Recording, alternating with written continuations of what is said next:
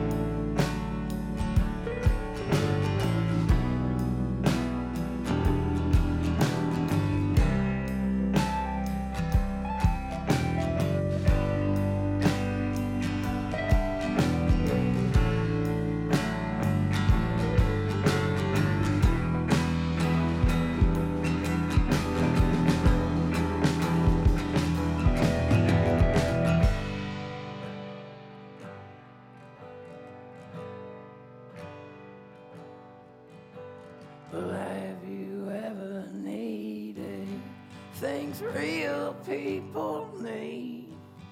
Not a car or a TV, but a.